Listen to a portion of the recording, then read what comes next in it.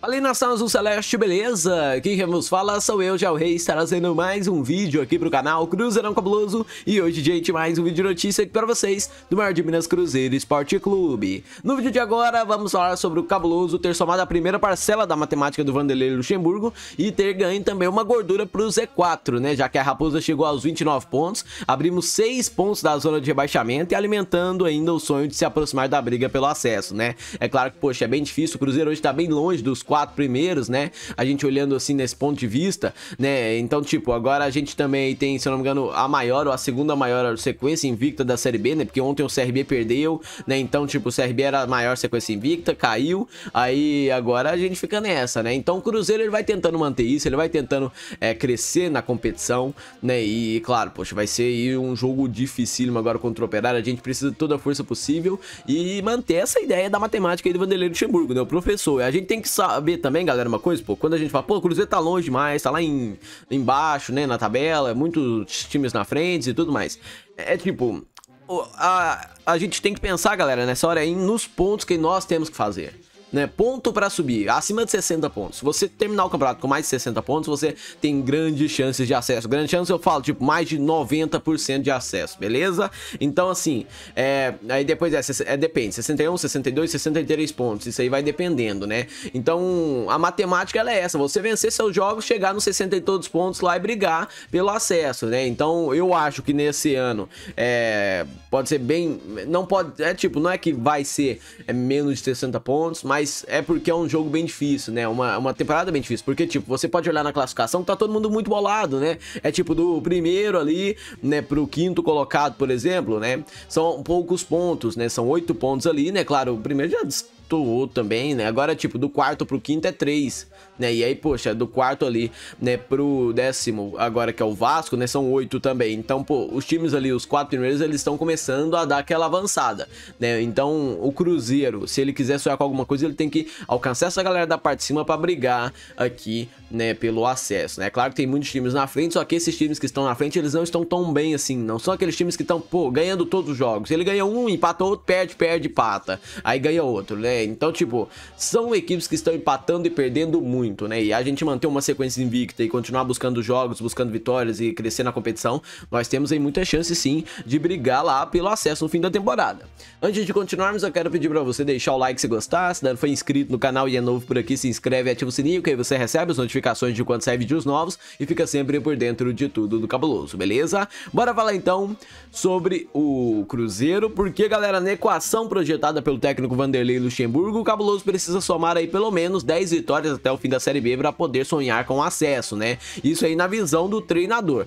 Contra a Ponte Preta, a primeira parcela da soma veio com uma vitória magra, mas importante para a manutenção da invencibilidade, né? E o triunfo na Arena de Jacaré por 1x0 fez o Cruzeiro chegar à décima partida seguida sem derrota na Série B. Foi a quarta vitória nessa sequência e é verdade, claro, ainda é preciso somar mais triunfos do que empates, mas o time somando pontos vai afastando aos poucos o temor inicial que é o rebaixamento. E o fato de não estar perdendo na Série B atinge diretamente o emocional do grupo cruzeirense e se reflete na tabela. Com a vitória em Sete Lagoas e o fato de o Vitória ter perdido para o Remo na última sexta, permitindo aí ao Cruzeiro abrir seis pontos para a zona de rebaixamento. E o discurso continua sendo um, né, que é buscar o acesso, mas a realidade ainda é briga contra o rebaixamento, né? São aí nove pontos de diferença para o Z4, pro G4, perdão, mas à medida que o Cruzeiro continuar vencendo e principalmente se conseguir uma sequência de triunfos ele ficará proporcionalmente aí o tamanho da briga contra o rebaixamento e pela tão sonhada volta elite do brasileiro.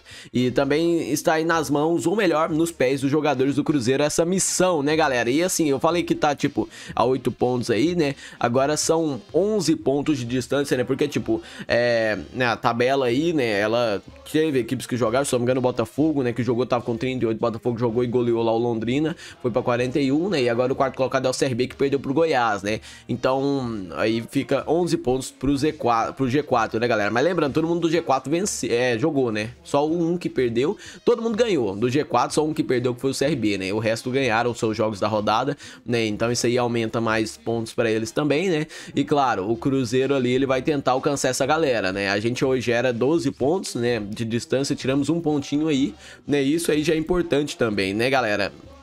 E assim, É, ter vencido a Ponte Preta fez o time chegar somente à sexta vitória na Série B em 23 jogos disputados. Foi a primeira das 10 buscadas por Luxemburgo e falta muito ainda, né? Mas o começo dessa equação foi a melhor possível. Na partida contra a Ponte Preta, o Cruzeiro teve instantes positivos e outros negativos. Ele dominou a partida é, na primeira parte da etapa inicial, mandando uma bola na trave, chances reais de fazer um ou até dois gols, e depois viu-se dominado pela Ponte, também correndo o mesmo risco de ter as redes balançadas. E as mexidas de Luxemburgo para a segunda etapa deram mais qualidade qualidade no passe no caso específico de Bruno José, mais velocidade e objetividade no ataque. E foi com ele que o Cruzeiro achou o gol num lance também com participação do Marco Antônio, que é outro que entrou bem na Arena de Jacaré. O Cruzeiro ele se viu sob risco de perder a vitória até o final, sendo pressionado pela Ponte Preta e graças ao Fábio, né, o histórico goleiro cruzeirense, ele foi possível aí a gente garantir os três pontos, né, para alegria dos torcedores cruzeirenses na Arena de Jacaré que mantém o sonho do acesso, ainda que distante, de estar ali na, é, no final da Série B entre os quatro melhores melhores, né? E é o que a gente busca, é o que a gente precisa, né?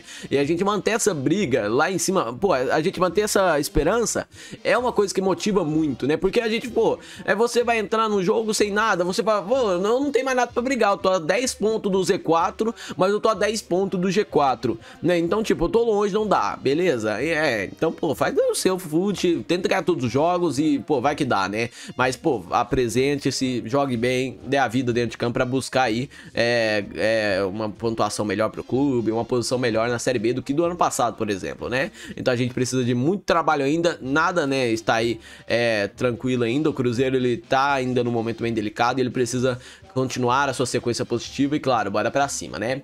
É, então, galera, esse foi o vídeo de agora. Obrigado a todos que assistiram até aqui. Se gostou, deixa o like aí embaixo. Se ainda não foi inscrito no canal e é novo por aqui, se inscreve, ativa o sininho, compartilha o vídeo com seus amigos e deixe aí nos comentários a sua opinião. Obrigado a todos, valeu, até a próxima. Fui, tchau, tchau.